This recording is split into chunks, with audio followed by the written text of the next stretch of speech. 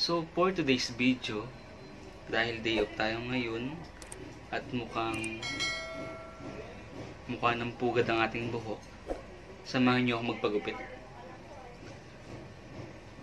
Tara, sa kilalang barbershop dito sa Timonan, kay Buddy. Tara. So, syempre, lalabas tayo ng bahay. Kailangan may face mask. Bawal lumabas. Okay. Okay. Tara.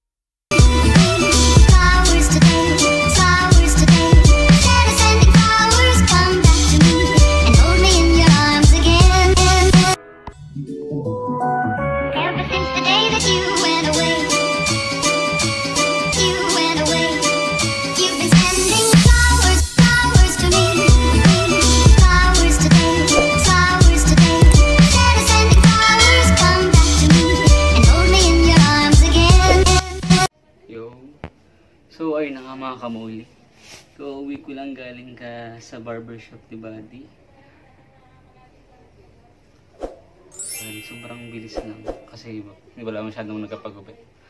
At bawal pang lumabas masyado eh. And bali araw-araw daw bukas sila.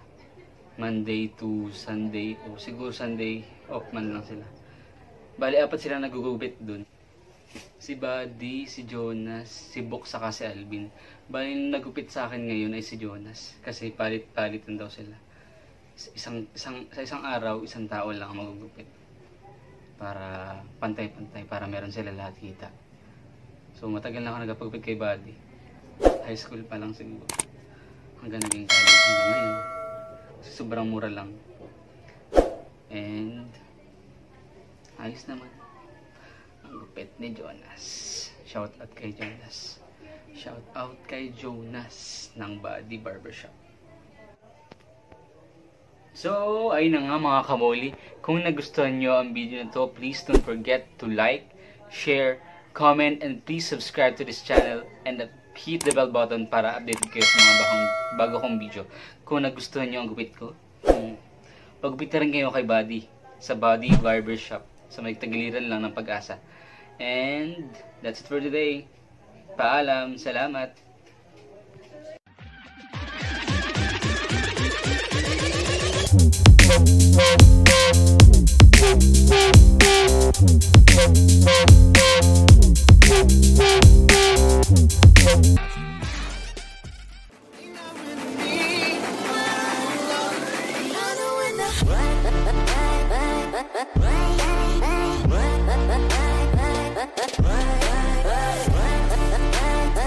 What? of the Jack Refix.